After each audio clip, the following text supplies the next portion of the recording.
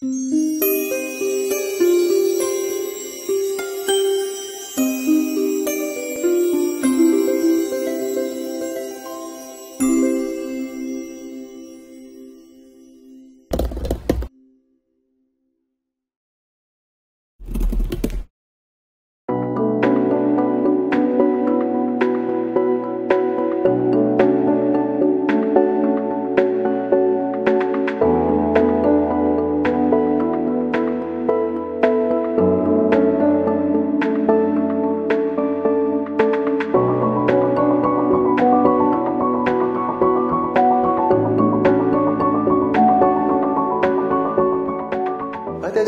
مسئله ای که نقطه عطف من زندگی توی زندگی ما آقای جاهد منو بردن کارگاه نمایش و اون نمایش رو دیدم و بعدش دیگه پام به کارگاه نمایش باز شد. دیگه شدم یه پا تئاتر مخاطب تئاتر. و بعدش هم که اون آگهی دوره انتقال تجربه رو از گروه بازیگران شهر که در کارگاه نمایش بودن خوندم و رفتم و بالاخره این دوران شش ماهه رو که دو تا سه ماه شد طی کردیم گروه بازیگران شهر از کارگاه نمایش رفتن. ما هم کارمون تموم شد که در همون موقع یکی از دو تا هر گروهی دو تا استاد یا چهار تا استاد داشت جابجا شدن اساتید گروه من یکی خانم سوسن تسلیمی بود یکی آقای فردوس کاویانی بود یکی آقای فریدون یوسفی بود یکی خانم نسرین رهبری. اگه اشتباه نکنم به حال ما یه دوره رو طی کردیم. یک روزی بود کلاس داشت تموم می‌شد. دیدم که خب ما همیشه ساعت مثلا پس کنیم که پنج یا شیش کلاس تموم می‌شد و بعد همه آروم آروم لباسشون پوشیدن می‌رفتن. من احساس کردم که یه تعدادی از بچه ها لفتش میدن. یعنی مثل که علاقه به مثل همیشه ندارن که برن. من فهمیدم یه خبرایی باید باشه. اینه که رفتم و توی دستوی پنهان شدن بعد حدود ساعت شدیم همه رفتن و بعد دیدم بله هفت از بچه ها نرفتن. و طبق صحبت های خانم تسلیمی به آقای داریوش فرهنگ که داشت نمایشی آدم آدم است و کار می‌کرد می‌خواست از این هفت نفر استفاده کنه. انتخاب خانم تسلیمی من جزوش نبودم. خلاص آمدم و رفتم. صاف نشستم تو دایره بچه ها خانم تسلیمی گفت گفتم من با اینا با اینا گفت من گفتم شما گفتم شما گفتید من موندم. شما گفتید بمونم امروز دیگه یادتون نیست. هری پاشو. گفتم نه اجازه بدید من نشستم چیزی نیست. بنا خلاصه نشستیم. نشستیم و بعد هفت تا لازم داشتن. باز دوباره اینجا اضافه بود. خلاصه گفت بالاخره خیلی خوب دیگه فردا هشت نفرتون بیایید تالار مولوی برای تمرین. که از غذا یکی از بچه ها علیرضا خمسه گفت نمی‌تونه بیاد چون دانشکدهش رو ترجیح می‌داد به اینکه سر کلاسش بره و اینا گفت نمی‌تونم بیام و ما هفت نفر شدیم بالاخره بازم. که تمرینات شد و بعد اجرا کردیم و تالار مولوی اجرا شد. سال 54 اسفند 54 نمایش خیلی شلوغی هم بود و حتی شیشه ها برای خریدن بید میشکست چون فضا فضای خیلی دانشجویی بود و خیلی آقا ما می‌خوایم چه بکنیم که نمی‌دونم چه می‌خوام بکنم خواستم بکنم خیلی شلوغ بود و به حال برشتم یک آدم ظاهرا انقلابی است که من اصلا اعتقادی ندارم. به حال بازی کردم تو نمایش البته بعد از اون نمایش دیگه از گروهشون دیگه باشون کار نکردم چون دیدم مثلا نگاه من اصلا با این ذهنیت اصلا تقییمی فرق می‌کنه اصلا. علاقه به اینجور شعارها ندارم. اصلا از آقای برشت اصلا خیلی چیزاش اصلا دوست ندارم. از خاطرات جالب اون نمایش من یه دیالوگ بیشتر نداشتم و همزمان با اون دیالوگم یه چوبی رو باید به متی هاشمی به عنوان اسلحه می‌دادم. یادم میاد که یا دیر می‌گفتم یا زود می‌گفتم یا اصلا نمی‌گفتم یا چوبو نمی‌دادم یا چوبو نمی آوردم مکافاتی داشتیم یه روز حمید لبخنده تو نمایش بازی می‌کرد گفت ماه بهری شما بهتر نیست بری به فکر کار دیگه ای باشی؟ گفتم نه. گفت آخه چوب امروز ندادی اصلا چوب نیاوردی. گفتم باشه ولی گفتم بگیر دیگه. چوب بگیر دیگه. حتما باید چوب باشه حالا چوب نیست بگیر. گفت به حال به نظرم اگه تو باشم میرم فکر می‌کنم اساسی تر که دارم کاری رو انجام بدم که می‌تونم توانشی دارم. گفتم خیلی ممنون. بهش فکر کردم بازم می‌کنم. بعد از این حالا این ماجرایی که گفتم توی نمایش درست مثلا چند ماه بعدش توی نمایش بازی قطرام یونسکو من یک سیاست مداری رو بازی می‌کردم. سه صفحه دیالوگ داشتم مونولوگ داشتم. بعد برای من یه چارچوب زده بودن بلند می‌رفتم بالاش درست ورودی سالن اصلی تئاتر شهر و در حقیقت کارگردان؟ آقای بانیپال بابلا. و من بایستی سخنرانی می‌کردم برای جلب نظر رای دهنده ها و اینا. مثل بلبل سیاست مدارانه حرف می‌زدم و یه روز دیدم که لبخنده پایین وایساده دارم بره بره من نگاه می‌کنه یه جمله نمی‌تونه بگه. سه صفحه مونولوگ داشتم.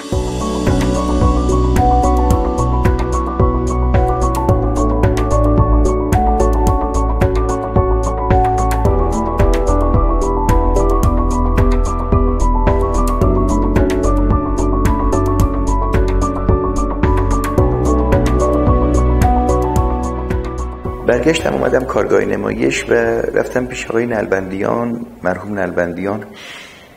گفتم آقای نلبندیان من اینجا یه هفتش ماهی کار کردم با گروه آقای آوانیسیان به صلاح اون دوری انتقال تجربه رو طی کردم. رفتم نمایش آدم آدم هستم بازی کردم.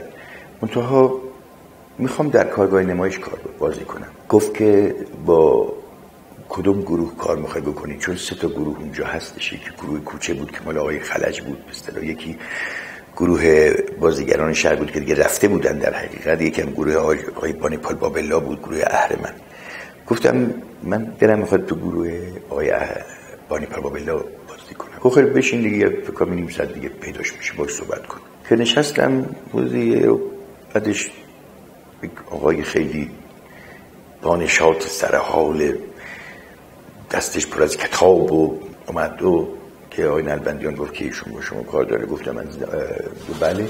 گفتم می‌خوام بیام تو گروهتون. گفت که اهلا و سهلا. هشت صبح فردا سر تمرین. باش منتها شما با ما یک دوره سه ماه رو طی می‌کنیم یا تو این سه ماه ما میگیم شما رو نمی‌خوایم تشریف می‌برید. یا شما میگید نمی‌خواید ما رو تشریف می‌برید. یا اینکه هر دو تا میگیم باشه پس تو گروه ما خواهید بود. تا فردا هشت صبح خدافز هشت تکرار کرد هشت. هشت و سه دقیقه نه هشت.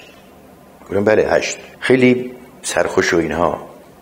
شادمان و فرداش رفتم و وارد رفتم گروهشون تمرین می‌کردم رفتم تو گروهشون کار کردم و شروع کردم به کارای اتود می‌کردن موسیقی میذاشتن حرکت می‌کردن با گروهشون که اون موقع خانم آقاشرو هم جزو گروهشون بودن خانم افشار پناه بودن خانم میترا قمسری بودن آقای اسماعیل پور بودن آقای محمود کریم پور بودن و خودش و منم رفتم و باز تمرین پوشیدیم و شروع کردیم به کار کردن و یک کار کردن بسیار نفسگیر چهار ساعته. با یک رو آنتراک فقط که حتی آنتراک که چای میخوردیم باز داشت تذکر می‌داد. آقای بانپا بابلا که اینجا باید اینطوری باشه حواستون پرت نباید باشه اینطوری باشه مشکلاتمون رو می‌گفت. و من عادت کردم به کار کردن. یعنی عادت کردم به اینکه تمرین یعنی تمرین. یه روز گفتم ببخشید این بانپال من می‌تونم بیام سر تمرینتون؟ گاره چرا نمی‌تونی بیای؟ اگه دوست داری بیا. خلاص رفتم سر تمرین نمایشی بود که خودش هم بازی می‌کرد و خانم میترا قمسری و یه آقایی که میرزا پور بود فامیلیش یادم نیست. سه تا بازیگر داشت در حقیقت نمایش. کلفت خونه رو معوش افشار پناه می‌گفت تو راه رو. صدای رجب رو نورالله حسین خانی. بعدا شد نماینده فرهنگی ایران تو پاکستان بعد یه مدتی مثل که جز به گروه نواب صفوی بود نه چی بود. و اونجا من نمیم چی کار داشت؟ من صدای رجب بود. خلاصه بعد من توی تبرین نگاه می‌کردم. بعد فردا مثلا قرار بود چیزایی بخرم. گفتم من تو را دارم میام. اگه می‌خوایم بخرم برم میام. گل خشکی چی بعد باریپا بولا گفت خب ما خیلی خوشحال میشیم. شما به عنوان مدیر تهیه ما باش. همینطوری یه سوی زمینی گذشت یه روزی گفتم ببخشید دیروز صحبت که کردید در مورد اومدن بازیگر باید سر این جمله این آقا اومد الان تاخیر داشته من اشکالی نداره. گفت نه خیلی خوبه که میگی. یادم رفته بود. دوست داری دستیار منم باشی تو این کار؟ گفتم بله چرا نه؟ شما همش توی نگاه می‌کردم به صحنه کوچکترین حرکت بازیگرا برای من جذاب بود که یعنی دستش رفت تو جیبش سر این جمله. داره اینو میگه چرا این حرف می‌زنه چرا میگه چرا اینجوری میگه چرا اونجوری میگه. خلاصه شدم هم مدیر تهیه اون کار و هم دستیار کارگرد دیدم صحبت می‌کنن درباره این که عکاس اون موقع تلویزیون میومد عکس می‌گرفت برای نمایش ها و اینا. بعد من خب عکاسی شبا می‌رفتم. گفتم ببخشید عکاسی حتما باید عکاسی من نمی‌تونم عکاسی گفتم اگه عکاسی من بله. گفت پس بگیر عکس. یکی از روزا که تمرین بود و برای عکاسی وقت گذاشته بودیم من دوربین عکاسی رو برداشتم بردم و مثل دیوانه ها چون نمایشم دقیقا از اول تا آخر می‌دونستم چی است و یه نردبونی هم اونجا بود بعد می‌گفتم حالا اون صحنه حالا اونجا اینطوری اینا عرق ریزان همینطوری عکس می‌گرفتم اون موقع آنالوگ بود دیگه. شاید هشتاد تا عکس گرفتم. 90 تا عکس گرفتم. سه حلقه سی و شیش تایی گرفتم. بعد از ذوقم شبش که تمرین تموم شد اینا رفتم عکاسی کارای اون عکاسی رو چاپ کردم. فیلم ها رو ضایع کردم. صبح تموم شد و چاپ کردم این عکس رو. فرداش اومدم. هم متعجب بودن از اینکه من عکس رو آوردم همشون 16 در 21 و هم اینکه از عکس ها براشون خیلی جالب بود. عکس ها بانپال با خیلی ذوق زده شده بود که این عکس اون چیزی که من می‌خوام. خلاصه شدم عکاس اون نمایش.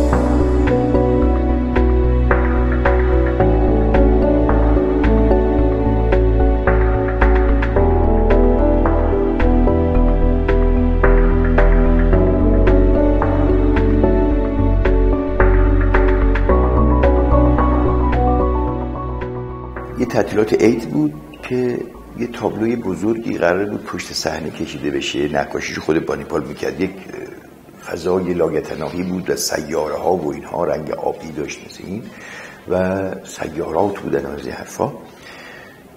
گفت در ایام عید تعطیلی ولی من می‌خوام تابلو بکشم. اگر دوست داری بیا پیش من.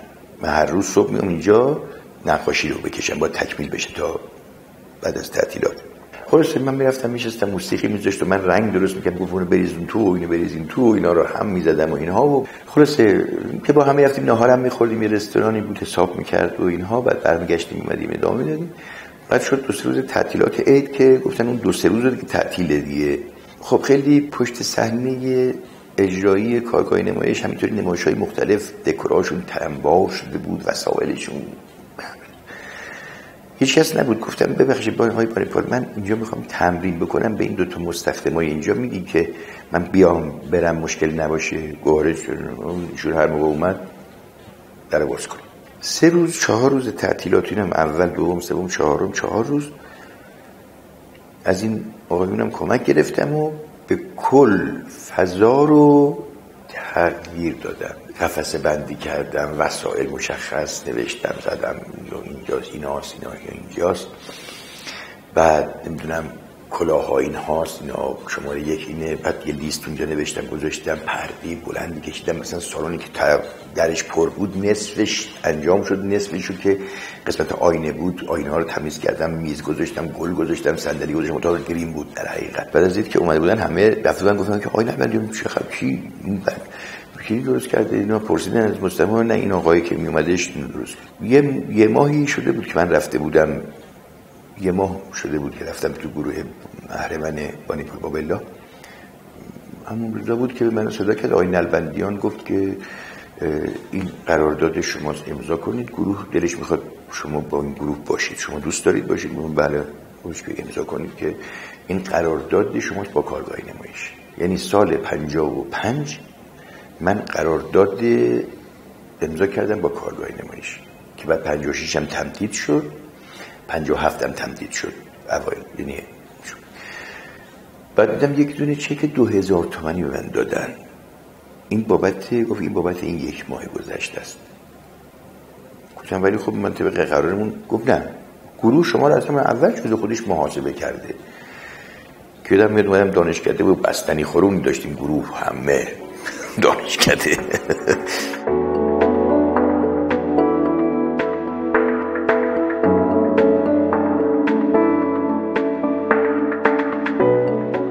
وقتی که کارگاه نمایش رفتم طبق قوانین اداری اون موقع ما سه سال یا دو سال اگر پشت سر هم قرارداد رو تمدید می‌کردیم دیگه استخدام بود. کارگاه نمایش دید نظر تلویزیون بود. خب ما رفتیم و قرارداد رو بستیم. چون مسئلمون نبود این قرارداد رو هیچ وقت کسی پیش رو نگرفت نه ما به عنوان بازیگر که آخه چی شد یه قراردادی بسته بودیم برای استخدام؟ اصلا ذهنمون به این مثلا که کی اجرامون شروع میشه. نه مدیرمون آقای نلبندیان در فکر این قضیه بود اون هم در تخیلات خودش غرق بود. و فکر کنه تخیل کنه ساعتها بشینه سیگار بکشه به دور دست خیره بشه. بعد نمایشنامه بنویسه فوق العاده این قراردادها در کشو همینطوری موند و ما استخدام نشدیم ولی در حقیقت استخدام باید می شدیم و می بودیم کافی بوده که امضا بکنه آقای نلبندیان. بفرسته اونجا امضا کنن تمام بود. این قضیه کشید به انقلاب. تازه بعد از انقلاب ما متوجه شدیم که دنیای ماتریالیستی هم وجود داره. سال 62 بود که شرایط تئاتر خیلی به هم ریخت. یعنی اگه شما ذهنتون موقع را بتونست کنه به کل آقایونی اومدن سر کار که بازاری بودن و چای فروش بودن و رئیس به اصطلاح مرکز هنرنمایشی شدن و اینها. بعدش من سال 50 و 61 62 به دلیل شرایط تئاتر بازم یه روز روزنامه میخوندم دیدم که خبرگزاری جمهوری اسلامی خبرنگار می‌خواد رفتم امتحان دادم من اصلا نه رشته خبری خونده بودم نه دانشکده علوم اجتماعی رفته بودم. خب تمام کسانی که رفته بودم ثبت نام کردن برای استخدام نمونده من نفر هفتم شدم. هم به دلیل اینکه از همون بچگی میگم روزنامه ها رو میخوندم نه به حال از سال 62 من استخدام پیمانی خبرگزاری شدم. هشت سال کار کردم. حتی بخش فرهنگی نداشت. یعنی بخش اجتماعی پوشش می‌داد. من رفتم صحبت کردیم و بخش فرهنگی و در حقیقت هنری رو راه اندازی کردم توی اونجا. سال هفتاد بود راستش یک روزی از خواب پا شدم جناب انوار. خب من همیشه دیر می‌رفتم. هیچ وقت حقوق نمی گرفتم چون همیشه کسری حقوق من تقریبا همون بود که و دعوای منم همیشه اونجا بود که آقا من مسئول خبری ارشادم. شما ساعت دو و شب یک آقای وزیر ارشادی از فلان کشور میاد من بگم به من مربوط نیست من خونه خوابم. من باید اونجا باشه شما وقتی حق دارید به من اشکال بگیرید که خبری در وزارت خونم اتفاق بیفته من خبرش نداشته باشم. اما اینکه من هشت صبح بیام دو بعد از کارت بزنم برم من اصلا اعتقادی به این نوع کار ندارم. من ساعت دوازده ممکنه بیام تا ساعت دو بعد اینجا باشم. می‌گفتن الا بلا نه امور اداری. می‌گفتن الا نه اتاق خبر با هم موافق بود معاونش. ولی اونجا نه. در نتیجه اونها حقوقشون رو کسب می‌کردن. مثلا 5000 تومن حقوق من بود 4800 تومن کسری حقوق داشتم. 200 تومن. قرار من بگیرم که معمولا من می‌رفت جار می‌زدم. می‌رفتم بالا میز گفتم آقای رمضانی که اونجا کار می‌کرد گفتم این چک رو به بی زحمت. نقدش کن 200 تومنه. یه دونه چری کباب شما خودت بخور دو قوطی چینی هم بخر. بیار اینجا. آقای من از اینجا حقوق نمی‌گیرم. فکر نکنید من حقوق می‌گیرم. سال هفتاد یه روزی از خواب پا شدم. کت شلوارم پوشیدم و رفتم جلو آینه بود که میتون کنم برم. مکس کردم گفتم کجا میری؟ موه بهری کجا میری جواب خودم رو گرفتم لباسم در بودم خوابیدم. خانمم گفت چی شد؟ کدام هیچی نشد؟ اصلا فراموش کن. هشت سال رو فراموش کن. که دیگه نرفتم خبر روزی که بعد نامه اخراجی اومد و برای تصفیه صبح نرفتم. اصلا دیگه نرفتم. تو مدت ها از اون ور خیابون رد می شدم می‌رفتم. بعد از خبرگزاری رد نمی شدم خونم اونم بود اون ور می‌رفتم می‌رفتم.